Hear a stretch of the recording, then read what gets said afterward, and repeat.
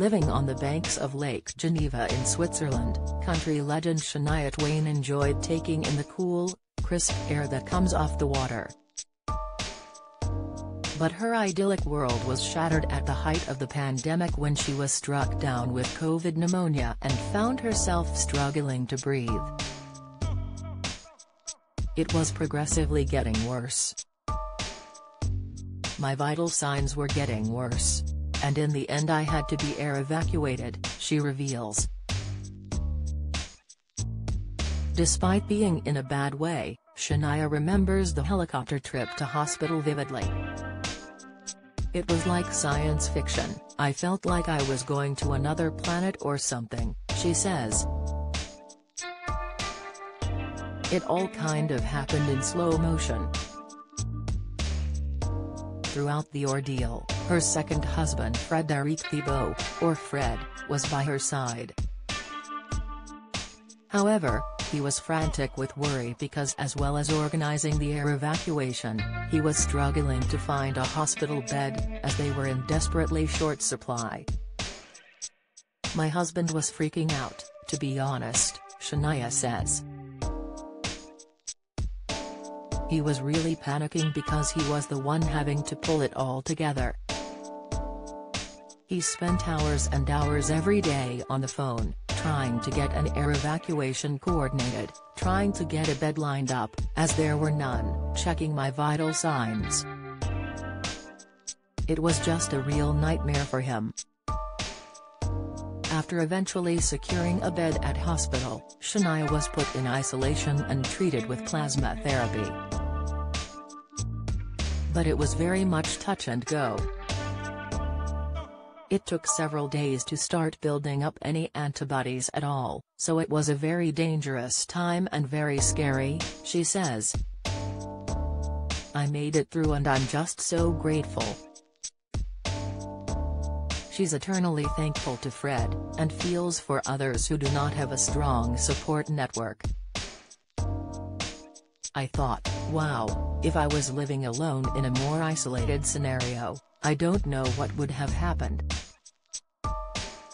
My heart goes out to people who don't have that support to help them get the right care. Slowly but surely, Shania began to recover and it wasn't long before she was writing and recording her sixth studio album, Queen of Me. The 57-year-old even drew on her COVID battle in a song called Inhale Slash Exhale Air.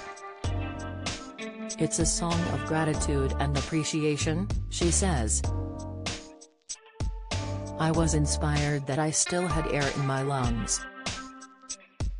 Shania is certainly no stranger to beating the odds. The five-time Grammy winner, who pioneered country pop with hits such as You're Still the One and That Don't Impress Me Much, didn't sing for a decade after losing her voice. Doctors eventually diagnosed her with Lyme disease from a 2004 tick bite, which they believe damaged the nerves in her vocal cords. With physical therapy, she relearned how to sing and in 2018 had open throat surgery to strengthen the weakened nerves. It's little wonder Shania is on such good form as she speaks to me by Zoom from America's West Coast. It's great to be just singing again, on a tour with my new voice after my surgery. I'm in a very celebratory state of mind, she says, adding that her voice now has more rasp. Growing up in Ontario, Canada, Shania lived with her mother, stepfather and two brothers and two sisters. Her stepdad earned a pittance working in reforestation and being short of cash was a constant cause of tension, with her mother suffering from depression. They often struggled to afford the petrol needed to ferry Shania to bars to sing. But there was also a darker subplot the star has only recently acknowledged, the sexual abuse she suffered at the hands of her stepfather from the age of 10. Shania never had a chance to confront him, because he and her mother were killed in a car crash in 1987, when she was 22. When I was fondled as a child, it made me retreat from ever wanting to grow into being a woman. I hated my body, she reveals. Shania says the abuse sparked a lifetime of feeling uncomfortable in her own skin. And it was one reason she decided to pose in some revealing shots for the artwork of her new album, which is out this week. I went into the most uncomfortable scenario I could think of, which was a photo shoot without my clothes on, she says. And that's what I did. I just faced it head on. It's probably something I should have done much earlier in my life but it feels like I've turned a corner, a very important one. It's about self-empowerment and taking charge of your fears. I asked Shania if part of the motivation for going public with the abuse was because it helped other people to understand they can survive these ordeals, too. Yes, I believe sharing your experiences helps other people, she says. Sharing helps you first of all. It allows you to let go. But it also helps other people experiencing the same thing, it makes them feel they're not alone and that is extremely important.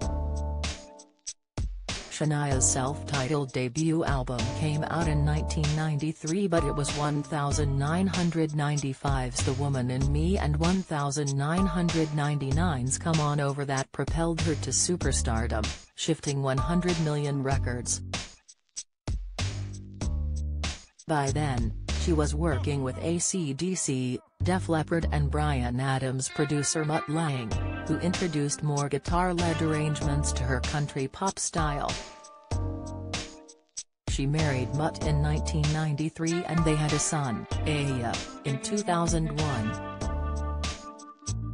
But she was devastated when Mutt ran off with her best friend, Marianne Thibault.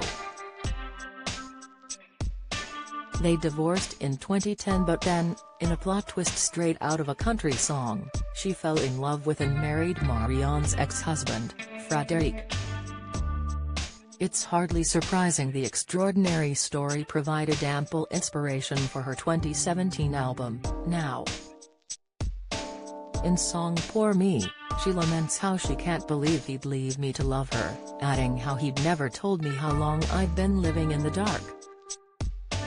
Subtle, it ain't. And Shania laughs when she admits Fred did sometimes wonder if she was being a little too honest. He was like, let it out. Say everything you have to say, although there were some times when he's like, are you sure you're not calling on this a little bit too much? But she says the album, as a whole, proved to be a cathartic experience and having such an emotional outlet, was good for me. And who could blame her? Shania Twain's new album Queen of Me is out on Friday.